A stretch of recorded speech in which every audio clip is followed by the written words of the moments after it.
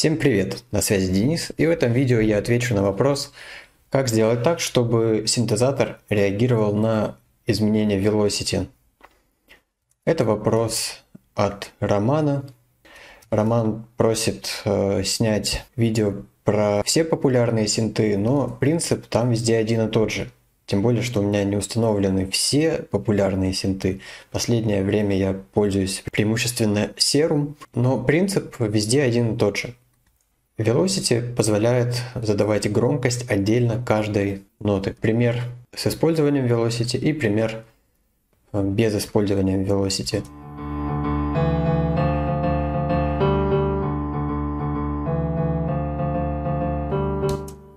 Без использования Velocity звучание более медюшное, неестественное, потому что человек так не играет. Всегда есть какая-то разница между громкостью отдельных нот, и это можно и нужно использовать. Но беда в том, что синтезаторы по умолчанию не реагируют на velocity. Вот давайте я добавлю серум. Ну, не все, конечно же, синтезаторы встроенные, скорее всего, будут реагировать. Ну вот, допустим, серум. мы слышим, что он сейчас не реагирует на velocity. А все потому, что velocity – это модулятор, то есть управляющий сигнал, который может управлять чем угодно, то есть не обязательно громкостью. И здесь он доступен нам в списке модуляторов, так же как огибающие, да, LFO, также здесь есть velocity. В разных синтезаторах он может называться по-разному. Здесь он называется velo где-то может быть vel или полностью velocity. Ну, смысл, я думаю, вы поняли. И по умолчанию он ни на что не назначен, поэтому и не реагирует на velocity. Для того, чтобы начал реагировать, надо назначить этот модулятор на тот параметр, которым он будет управлять. Ну, в данном случае на громкость, да?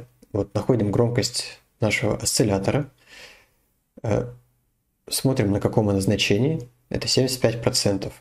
Вот это значение должно быть где-то 80% от всего диапазона velocity. То есть мы опускаем эту ручку до нуля, и velocity назначаем с такой глубиной, вот, если у нас было 75%, то нам надо ну, чуть меньше 100, пускай бы 95. Вот, чтобы как раз вот то значение, которое было у ручки, оно находилось где-то в районе 80% от полного диапазона velocity. И тогда осциллятор будет не только реагировать на velocity, но и значения будут приближенными к тем, которые были у пианино.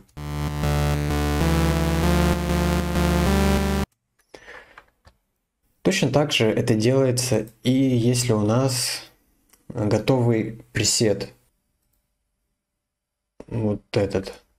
Это готовый пресет, и здесь мы видим, что у нас 4 э, осциллятора задействованы.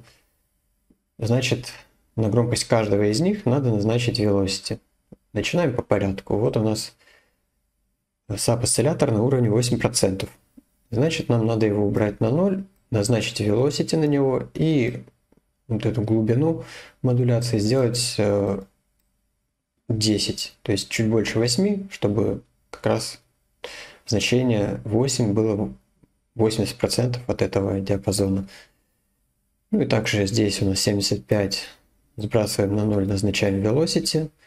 Здесь у нас вроде как 0, но на самом деле мы видим вот этот значок, значит есть уже какой-то модулятор. И в подсказочке мы видим, что это макро 1 и макро 2.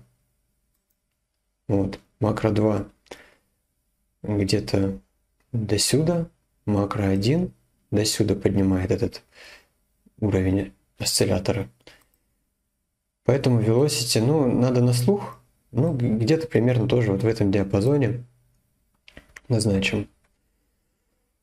Так, и что у нас еще? Noise осциллятор. Видим, что он управляется огибающей 2, максимум до середины доходит. И velocity тоже назначаем до середины.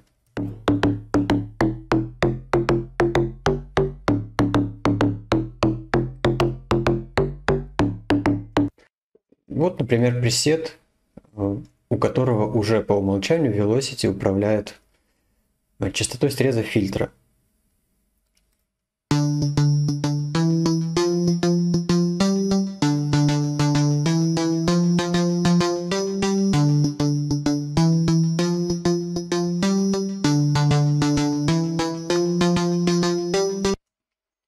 Ну и во всех остальных синтезаторах принцип тот же самый. Допустим, в синтезаторе Zebra Сейчас инициализируем пресет. И вот у нас громкость. Я вставлю сюда эту партию. Сейчас он не реагирует на velocity. Здесь мы можем назначить модулятор, и вот он velocity. Увеличиваем его амплитуду на плюс 100.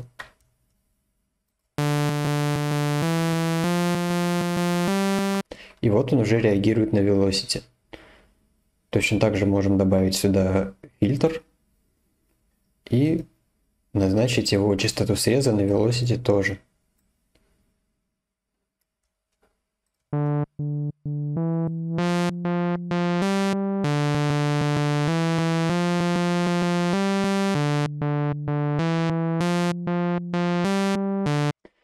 Вот так это делается в зебре. Ну и во всех остальных синтезаторах по тому же принципу. То есть вам достаточно найти этот модулятор Velocity и назначить его на громкость, на частоту среза фильтра и на любой другой параметр, который вы захотите. Dune 3. Я довольно редко им пользуюсь, поэтому я не знаю, где здесь находится параметр velocity, есть ли он здесь вообще. Но в большинстве синтезаторов есть матрица модуляции. Вот захожу в нее, здесь можно выбрать, в принципе, все параметры, которые только есть. И вот я тут тоже вижу velocity. Вот амплитуда это, скорее всего, глубина модуляции. И чем он будет управлять, вот здесь можно выбрать вот осциллятор 1 волюм. Так, давайте сюда это ставим.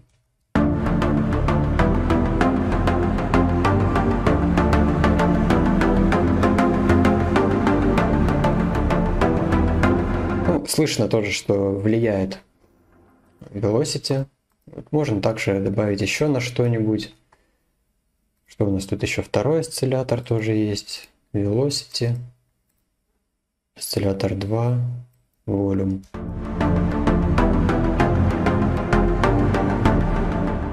Еще более явное влияние теперь.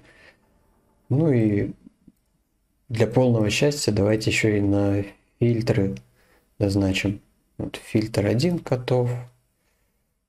А, тоже здесь не на 100%, давайте а на 50 сделаем. А во втором фильтре уже на 100%. Фильтр 2 котов.